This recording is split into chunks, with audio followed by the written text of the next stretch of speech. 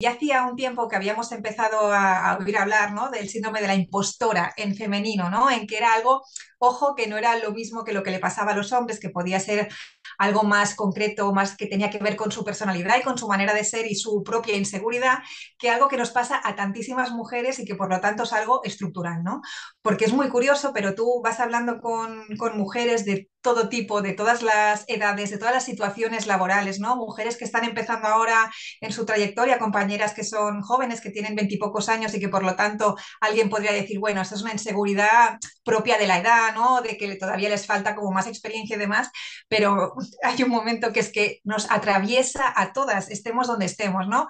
Incluso a profesiones que dirías objetivamente muy valoradas socialmente, como es la medicina, ¿no? O mujeres empresarias, mujeres que tienen empresas y que dirigen y que mandan, ellas también lo sienten, ¿no? Y entonces cuando, cuando ya ves que es un problema global, ¿no? Que nos afecta a muchas mujeres independientemente de nuestra preparación, de nuestra edad, de nuestro cargo en una empresa, entonces pues ya dices, ostras, pues aquí pasa algo. Yo creo que la mejor universidad que hay para aprender a dudar de nosotras mismas eh, es el patriarcado, ¿no? Esto lo, lo, tengo clarísimo.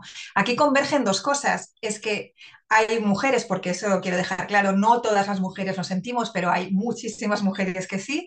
Entonces se suma esa propia inseguridad con la sensación social ¿no? de, del patriarcado de que nosotras no seremos capaces de hacerlo, ¿no? Y ahí es como la gran explosión, ¿no? Porque nos, nos sentimos, o sea, la respuesta que tenemos de, del mundo no es, no, mujer, no, tú eres muy capaz, sino al contrario, no, es que realmente la vas a cagar, es que realmente no sabéis. Es que es cómo hacerle frente. Pues eso, sobre todo no evitar, porque de eso se alimenta el miedo, ¿no? De, de, evitarlo y no hacerlo, y entonces no tener armas para luego decir, bueno, lo hice una vez y no fue tan mal, ¿no? O lo hice dos, o lo hice tres.